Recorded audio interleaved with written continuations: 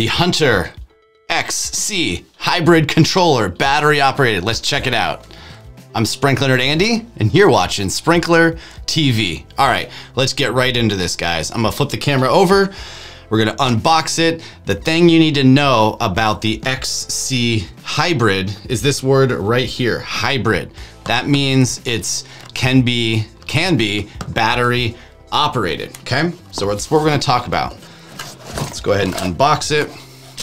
You've got your keys, you've got your wall anchors. Again, I always recommend using whatever wall anchors are suitable for the mounting location. It may or may not be those.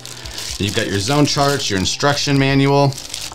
This can be stuck inside the controller. Let's take it out. Set it over there. And let's see if this is locked out of the box or not. It is not, so we can go ahead and open it. Let's uncover Let's take off the, uh, the front panel here and cool. Let's see. The first thing you're gonna notice is the battery compartment. I'm gonna hold it up so you can get a better look.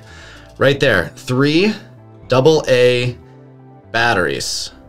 Okay, so this is, um, well, there's a couple, but this is one of the only more traditional looking controllers that you can run um, using battery. So if you have a new construction project, or maybe you're at a pocket park or you have a city median and you don't have, um, you know, an electrical uh, run out there, 120 power, you can run your entire irrigation system off this battery controller with one exception, okay? This is the most important part when you consider using battery operated controllers like the Hunter Node or any of the DIG products, really anything that's battery operated, you need to use a different type of solenoid. So I do have two solenoids here.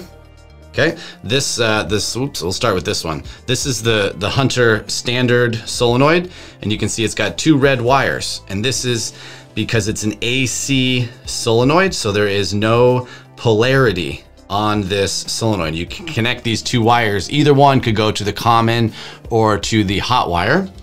However, if you're using this a hybrid controller that's battery operated, you need to have a DC solenoid, okay? So the solenoid looks exactly the same as the previous one that I showed you. I'll just put it up here as a comparison, right? The printing, everything. You guys are blurry today. There we go.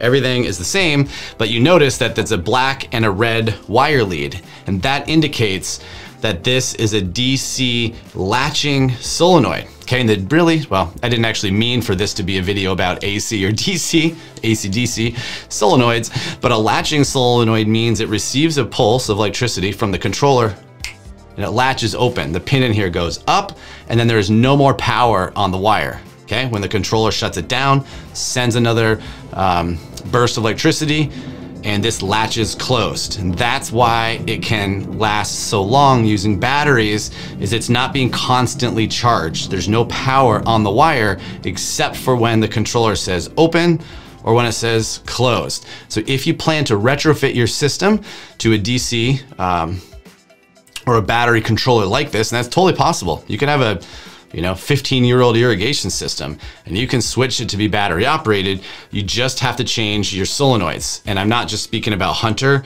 Um, most every manufacturer, Toro, Rainbird, Hunter, K-Rain, Weathermatic, Nelson, Orbit, they all make DC latching solenoids. So you can actually take this Hunter XC hybrid controller and you can put it on a system that has anybody's valves. This controller can run Rainbird valves, Toro valves, K-Rain valves, Weathermatic valves, it doesn't matter. The only thing that matters is that you have a DC latching solenoid. And these aren't these aren't cheap. So if you've got 20 zones, it could cost you, you know, a couple hundred dollars to switch out um, all the solenoids, but you have to switch out the solenoids or the system won't work, all right? Otherwise, it's a pretty standard controller. This model here has six zones. There is a master valve spot. There is a sensor term terminal, so you can use any of Hunter's Clik, uh, Clik sensors.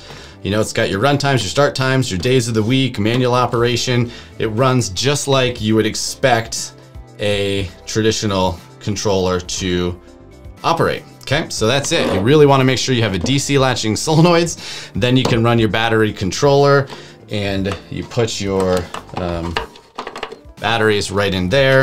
It's lockable. The uh, zone chart can be mounted right in here on Velcro. Okay.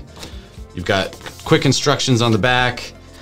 And then this guy can be mounted like that. Pretty simple stuff.